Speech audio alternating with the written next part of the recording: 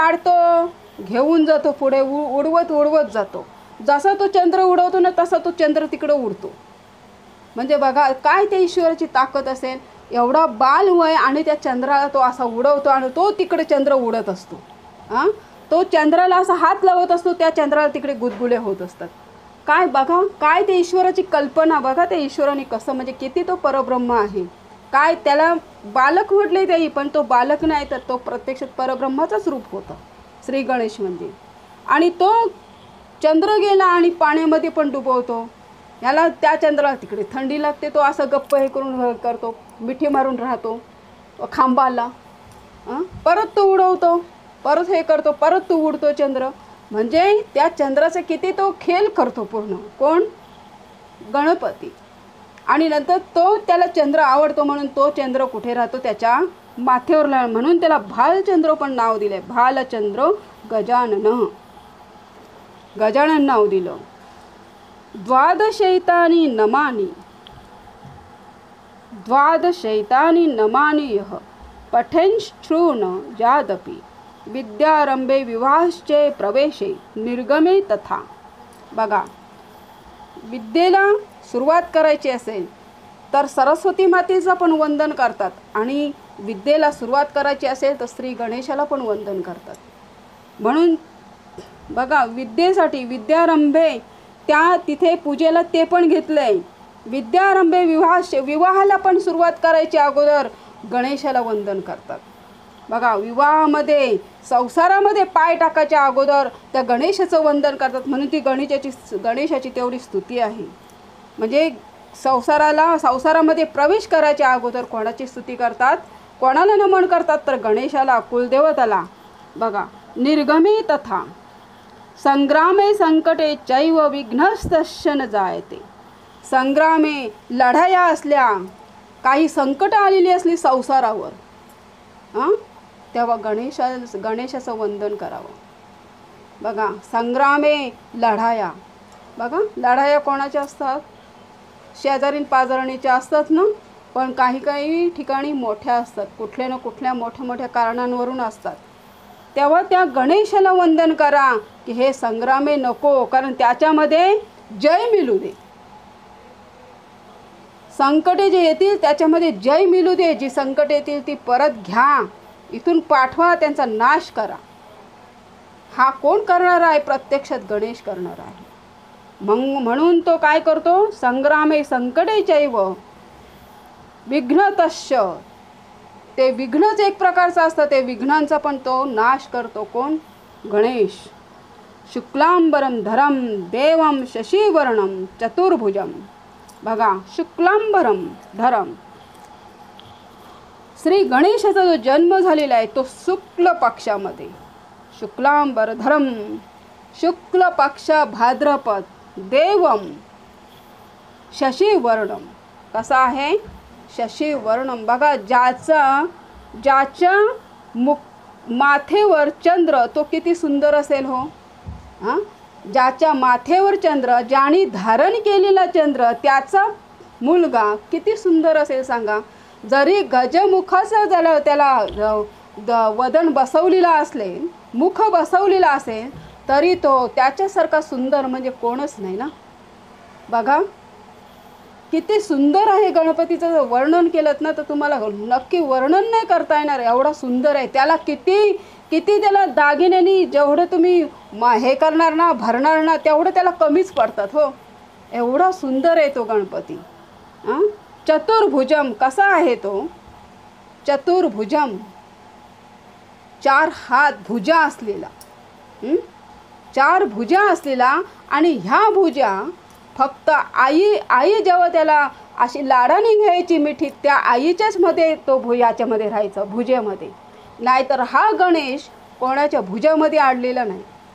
बघा त्याला भुजा मारायला त्याला मिठी मारायला कोण गेला? तर शिंदुरा शिंदुरा गेला मिठी मारायला कारण शिंदुरा कसा होता? अहंकारी होता.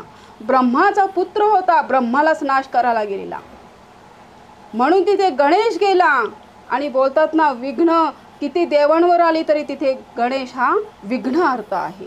ब्रह्माजीला एक प्रकारचा तो विघ्न झालेला त्याचाच पुत्र त्याला मारायला निघाला सरस्वती मातेला बोलायला निघाला उद्धड बोलायचा तिथेच श्री गणेश गेला.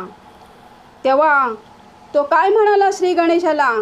की तू मा तुझला बोलते तू एवढा अहंकारी आहेस एवढा अहंकारी आहेस तू बोलते माझ्या माझ्या भुजेत ये.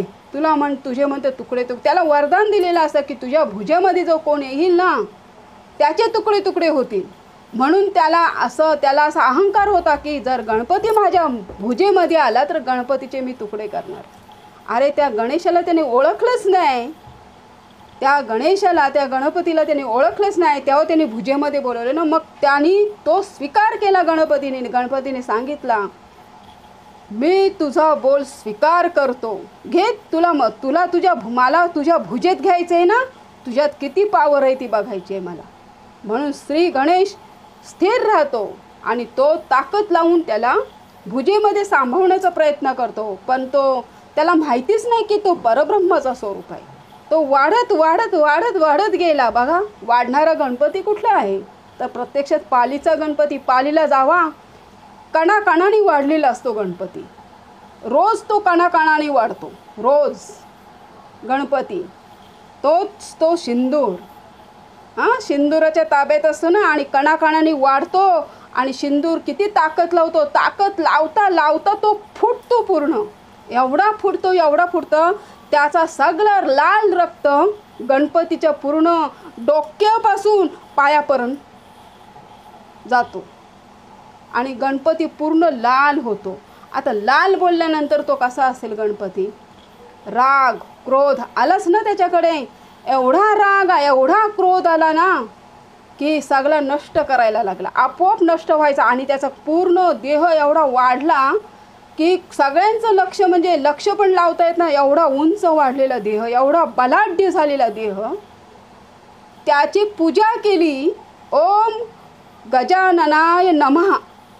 अशी पूजा केली इंद्रदेवतेने तेव्हा त्याचा आणि पूर्ण इंद्रदेवतेकडे जेवढा अहंकार अभिमान होता ना तेवढा तो नतमस्तक झाला की तू शांत हो.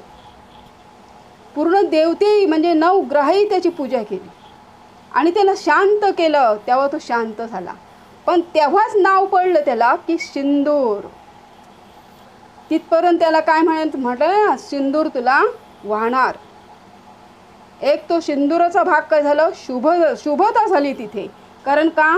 ब्रह्माला जेव्हा तो त्याचाच पुत्र त्याला मारायला आला ना तो विघ्न त्यांनी घालवला आणि त्याचंच रक्त त्याच्यावर पडला. म्हणजे तो सिंदूर त्याला व्हायल्यासारखं झालं. आहे ना? म्हणजे सिंदूर तिथं शुभता झाली. आणि तो पूर्ण फाटला सिंदूर. सिंदुरा सिंदूर हा राक्षसाचं नाव होता पण तो पूर्ण फुटला आपोआप. तडाच गेली त्याच्या देहाला पूर्ण. काहीच राहिलं नाही. सगळं त्याचं देहाचं रक्त झालं आणि ते गणपतीच्या पूर्ण ह्याच्यावर पडलं. पण रक्त बोलल्यानंतर लाल आणि लाल बोलल्यानंतर मंगल. आहे ना? मग तिथून त्याला मंगल पण नाव दिलं. कारण मंगल हा कसा आहे? लालच आहे आणि क्रोधी आहे. मग तेव्हा त्या गणपतीचे इथे क्रोध. सगळं जागरूक झालं. तो काही बोललं नाही. लहान बच्चा. आपोआप वाढत गेला तो परब्रह्म आणि तिथे क्रोध जागृत झाला आणि तिथे काय झालं? उल्का एकमेकांना वाद असे ठोकरी मारायला लागले. बघा. एवढं एवढं त्याचं हे आहे. मग हे चतुर्भुज त्याच्यावरती वंदन हे आहे की त्याचे जे चतुर्भुज आहेत ते फक्त त्याच्या आईच्याच तो याच्यामध्ये जाणार. त्या आईच्या भुजेमध्ये फक्त तो मावणार नाही तर गणपती हा कोणाच्या भुजेमध्ये मावणारा नाही. प्रसन्न वदनम. कसा आहे त्याचा मुख? क्रोधाने असला तरी प्रसन्न वदनम. क्रोधाने असेल तेव्हा बघा कोणाचा तरी अहंकार असतो आणि त्या अहंकाराला नष्ट करणार म्हणून तो क्रोधाने असतो तिथे. आपलाच अहंकार असला ना तो गणपतीचा मुख कसा दिसेल? क्रोध क्रोधायमान दिसेल. म्हणून आपल्याकडे गणपतीला जेव्हा नतमस्तक होतो ना तेव्हा आपण नम्रता व्हायचे. तर गणपतीचं मुख कसं होतं? प्रसन्न वदन. ध्यायते सग सर्व विघ्नोपशांतये सर्व मंगल्य मांगल्ये शिवे सर्वार्थ साधिके शरणे त्र्यंबके गौरी नारायणी नमस्तुते. बघा त्या गणपतीला पूर्ण न नतमस्तक पूर्ण वंदन पूर्ण काय म्हणतात ना नम्रतेने वंदन करा. कसा